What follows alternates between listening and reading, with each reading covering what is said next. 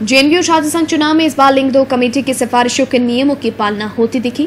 Campus में जहाँ प्रत्याशियों की प्रचार सामग्री नहीं देखी गई, वहीं हर बार से इस बार कैंपस भी साफ़ सुथरे नज़र आए। पुलिस इस बार शुरुआत से ही सख्त दिखाई दी और परिणाम ये रहा कि मंगलवार को शांतिपूर्वक मतदान संपन्न हो सका। मतदान संपन्न होने के बाद पुलिस और विश्वविद्यालय प्रशासन ने राहत की सांस ली।